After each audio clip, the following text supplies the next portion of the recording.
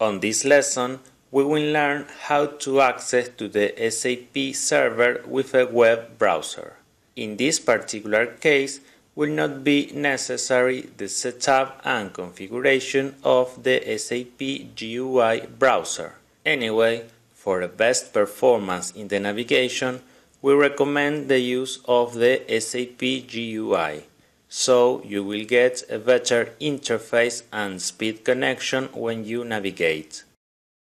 To access to the server with a web browser, you have to go to the link that was indicated to you at the moment of your registration in the course. On this screen, we have to complete the fields with the same information that is required to log in with the SAP GUI. These fields are the client, user, and password. Then we click on Log On. In this way, we can navigate SAP system with a web browser.